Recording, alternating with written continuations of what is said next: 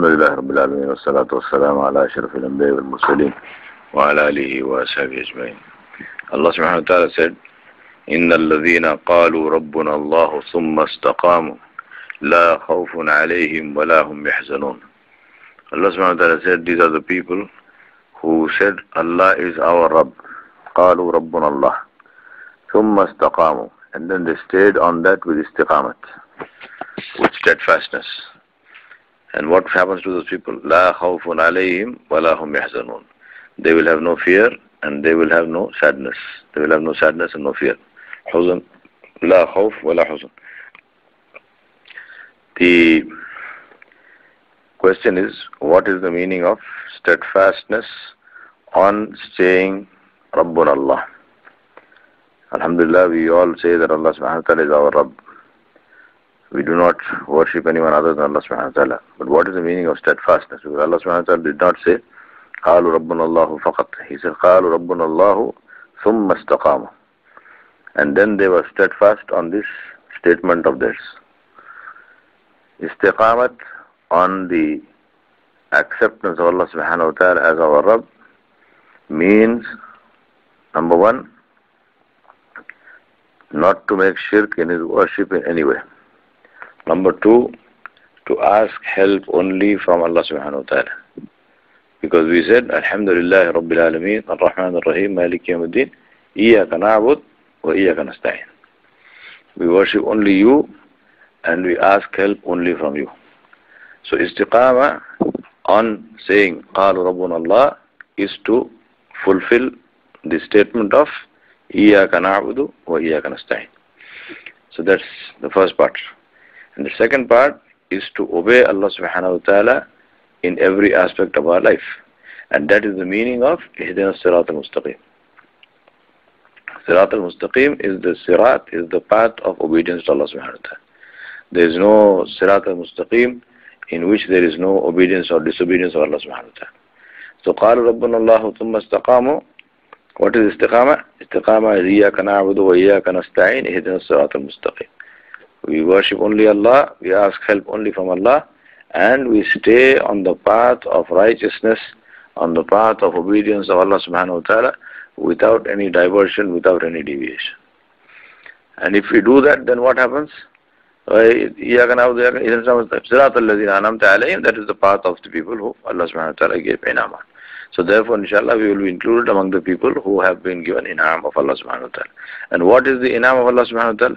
La khawfun alayhim wa lahum yahzanun. Because that is the, these are the two elements in this life which Allah subhanahu wa ta'ala will remove from us, inshallah. We ask Him to do that. And the, these are the two qualities of the people of Jannah. La khawf wa la huzan. They have no fear of the future and they have no regret of the past because these are the two sources of problems it's the future fear of the future what will happen to me tomorrow or it's the regret of the past I wish I had not done this or that. Now, if, if these two are removed, how are these two removed? By the path of obedience. These two are removed by tawakkul and by obedience. The fear of the future is removed by tawakkul Allah. If you have tawakkul Allah, there is no fear of the future, inshallah. Allah subhanahu wa ta'ala will take care of my future. And how do we have tawakkul? Based on obedience. You cannot have tawakkul if you are disobedient, because if you are disobedient, then your fear will increase. Either you are completely minus iman, which means that you are disobedient and you have no fear, which means that you have to seriously ask whether you are Muslim at all. But if you are, if you are even Muslim to some degree, then if you are disobedient to Allah subhanahu wa ta'ala, you know you are disobedient. And that, therefore the fear actually increases, it doesn't, it doesn't decrease. But if you are obedient to Allah subhanahu wa ta'ala, the fear is not there. And of course the fear of dunya is not there because we have tawakkul Allah subhanahu wa ta'ala. Alhamdulillah, Allah subhanahu wa ta'ala said, He is Razzaqud al-Quwwat al-Mateen. Allah is my raziq, why should I fear about the world? As long as I am obedient to Allah subhanahu wa ta'ala. And the issue of huzn, of the past, that will not be there if our life is on Sirat al-Mustaqim because we would not have done anything in the past which we need to regret. I'm not saying that we don't make tawbah. We make tawbah. Rasulullah himself made tawbah. That's a different matter. But actual regret on doing something wrong. That's a different matter. You, you've done something haram, you, you, you, you, you killed somebody, you hurt somebody, you swallowed somebody's property, or whatever it was. Now, obviously, if you did not do all these things, then you will not have regret of that. Alhamdulillah, you can say that I have no regret in my life.